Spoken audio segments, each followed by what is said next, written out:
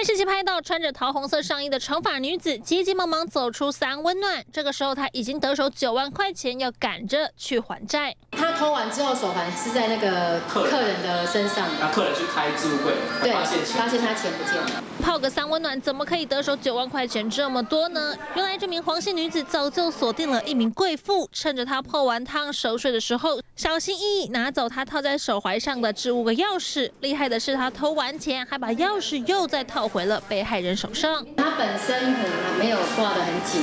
这一间位于高雄市的三温暖，装潢气派高级，女性专属，但因为内部无法装设监视器，警方一开始根本无法掌握偷钱嫌犯，直到查访附近大楼。才发现有窃盗前科的黄姓女子一度外出移车，又再入内，过没多久又匆匆忙忙的离开，怀疑就是在第二次入内时下手行窃的。他有债务的一个问题在了，所以他取得这个九万块之后，他就赶快去还债。窃贼欠债还有时间泡汤，还这么刚好偷到贵妇的皮包，原以为神不知鬼不觉，哪知道一下子就被警方逮到。接着梁家文、张信高雄报道。